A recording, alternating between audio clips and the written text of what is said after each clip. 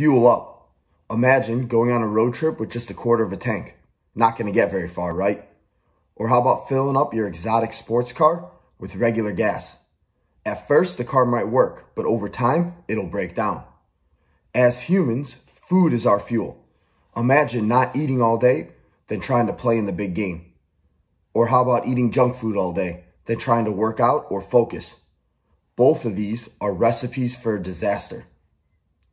We, we're just like cars. We must fuel our tank, otherwise we will not get very far. But if we fuel with the wrong kind of food, we will break down over time. This is what most people do. But you are not most people. You are uncommon. So fuel up.